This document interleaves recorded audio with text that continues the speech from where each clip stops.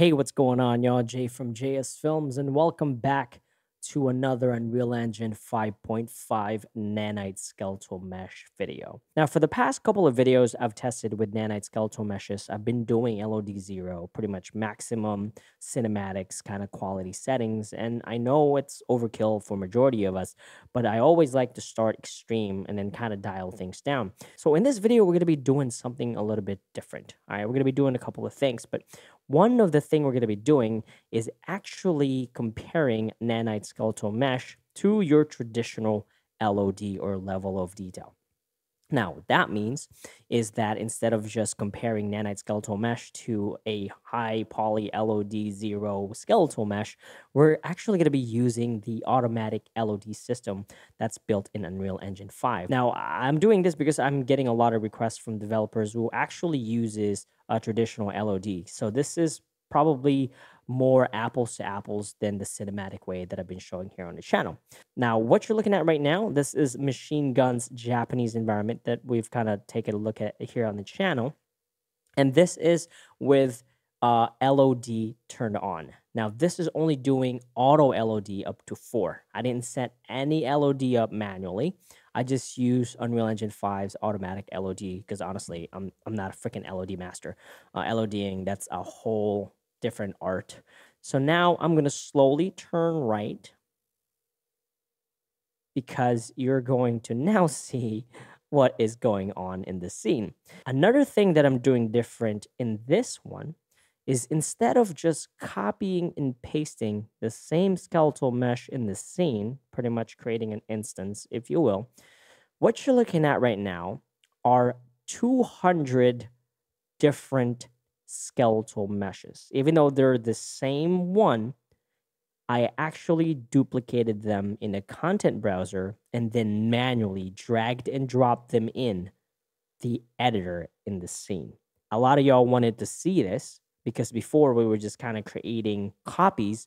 So pretty much we have 200 different skeletal meshes in this small area right now. Now, like I said, this is using the Unreal Engine 5 automatic LOD, which I generated for in our case. And as you can see, we're getting about 47 to about 50 frames per second. And another crazy thing about this scene is that each and every one of these kimonos are 500,000 triangles. All right. So multiply that by 200 individual ones is what you're pretty much working with. Now, unfortunately, I can't get debug to work on a ship build, um, and I can't package nanite skeletal mesh in a debug build, so I can't show any stats. I tried doing some funky stuff. So here we go. I'm just gonna walk around in here, maybe jump in a circle, and right when we get in the middle, as long as I don't get stuck, we're getting about 40 frames per second, right? I am smack dab in the middle of this right now. So this is pretty intense. And like I said, I'm running this on a laptop with 16 gigs of VRAM, so 4090, and an Intel. I'll put the the specs in the comments below so you can kind of gauge it. But if we kind of move around in here, and yes, every single one of them are animating different animations. It took me forever to kind of set this up because I ran into some other issues like um, whenever you switch from nanite skeletal mesh to an automated LOD, it, I was getting crashes. So to actually set this up to compare was not easy. And I'm going to bring uh, another point as far as why I think nanite skeletal mesh is a lot faster, if you will. So here we go, walking around in here. This is uh, set at epic scalability setting once again. And as far as this environment goes, this is no joke. This is not a plain environment. We have volumetric clouds. This is high quality, right? I'm not trying to jib out or cheat the system here. We I put them in there with no optimization. I just put them there one by one and this is what we're kind of going with. So, all right. So that being said, what we're going to do now is swap over to the nanite skeletal mesh turned on. All right, so here we are again. This time around, we have Nanite Skeletal Mesh on, and there's no LOD. There's no setting up. I didn't set any LOD up. I just turn on Nanite Skeletal Mesh. So here we go. We're going to go ahead and scroll to the right. And now we're getting about 60 to 60, 60 to 62 frames per second.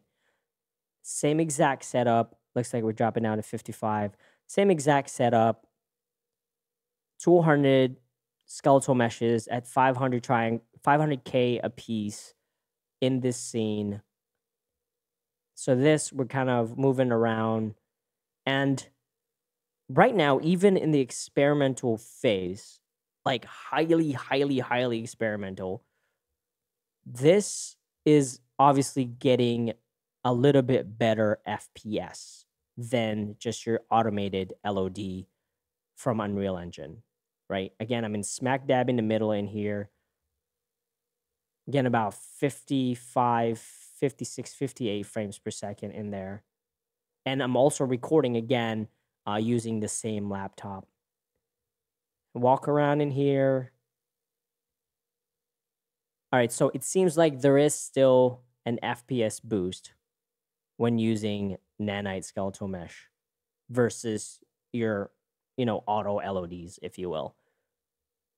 Now, you know, one can argue that somebody who actually takes time to LOD the skeletal meshes in their game or their assets or their project would probably get better frames per second than um, nanite skeletal mesh. But I think that's what's kind of cool about this feature is that you don't have to use nanite skeletal mesh. It's just there if you would like to use it. Because similarly with kind of like Lumen, right? Yes, your FPS is going to tank when using Lumen versus using Baked Lighting. It's the same argument. It's not so much that, oh no, Nanite is going to replace LOD. I mean, eventually it might if it gets so good, but nothing is stopping you from still using LODs for video games, obviously. Um, but even with this experimental version, it looks like I am able to squeeze a little bit more FPS. Obviously, with this with this scene that we're looking at right now, um, I'm not sure if that's gonna be all around. Um, but from my testing, and I've had two scenes so far, it looks like we are getting more FPS, even though we're comparing it to an LOD uh, project or instance. So that said, what I'm going to do now is go to the project Okay, so here we are in the actual Unreal Engine 5.5 project. And I guess let me go ahead and discuss this real quick. Now, this test was supposed to include metahumans. Um, but unfortunately, even though I got the body of the metahumans working, the face I cannot get to work with Nanite Skeletal Mesh.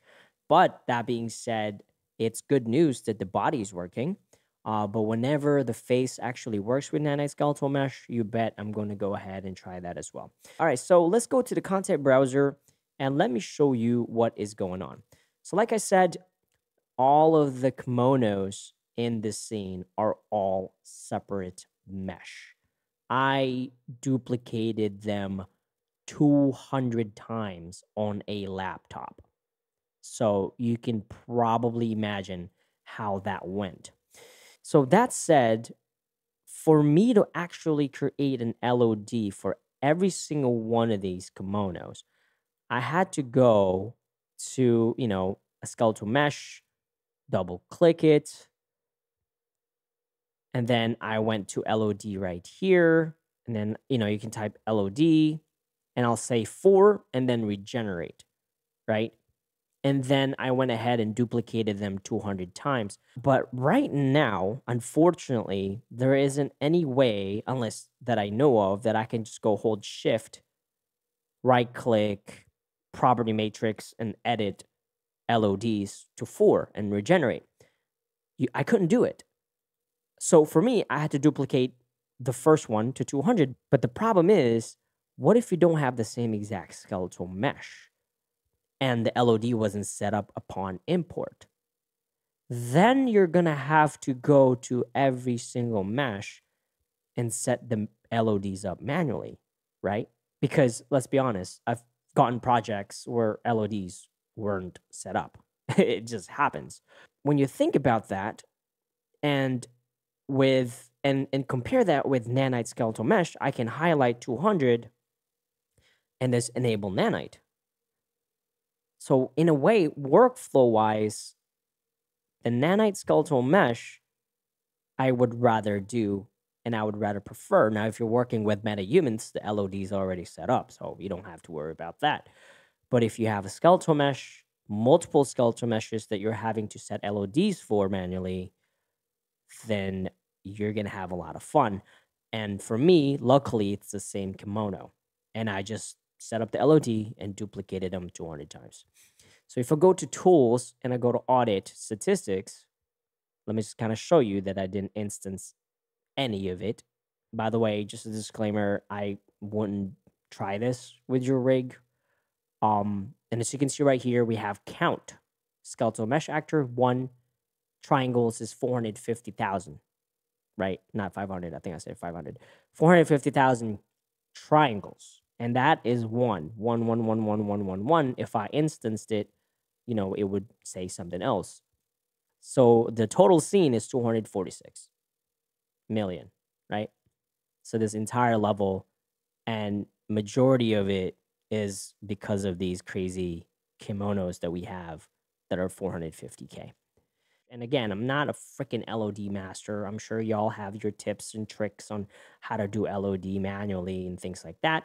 Um, and you might be able to get better performance, right? But this is kind of like, as an outsider looking in, this is the stuff that I'm seeing. So when I said that I was getting crashes, right? This is one of those things that you make sure you back up your project. Whenever I want this to go back to Nanite, I get a crash.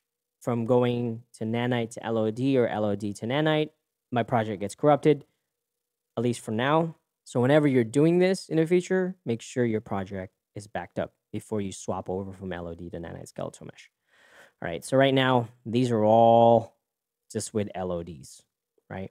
Now, real quick, what is an LOD? Um, if you look at your triangles right here on the top left, the further I go back at a camera, the less triangles there is, right? From our previous two tests, because I was doing cinematics. I don't do LODs when I'm rendering cinematics. So for our previous two tests, it was LOD zero the entire way. It was just high quality the entire way. But with LODs, the further we are from the camera, you can see there's only 26,000 triangles. The closer we are, you get your 450K. And again, in our scenario here, everything was pretty much close probably zero to LOD one. So that's just kind of like how the whole LOD is. The last thing that I wanted to test out here was the file compression. Nanite static meshes have a crazy good amount of compression. What I mean is, it takes your file size down pretty darn good from your high poly mesh. And what I wanted to find out was will it do the same thing with nanite skeletal mesh? As of right now, I was told that whenever you cook a nanite skeletal mesh, it's actually also including the non nanite skeletal mesh. So the file size is actually bigger. But eventually, I was also told nanite skeletal mesh will be cooked by itself eventually, meaning there is a potential that the file sizes will also be compressed as good as the nanite static meshes. Now, that is huge because, for example, for Fortnite, we have a 400 megabyte limit on, on what we can upload before we can publish something. So if you're telling me that nanite skeletal meshes will take less space in our hard drive in the in, in a cook project, that is fantastic freaking news.